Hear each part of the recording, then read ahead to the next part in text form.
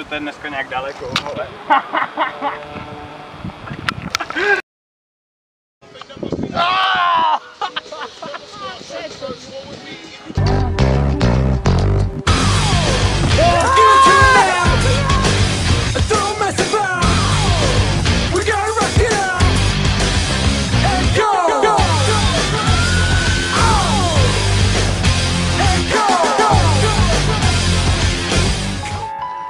Thank you.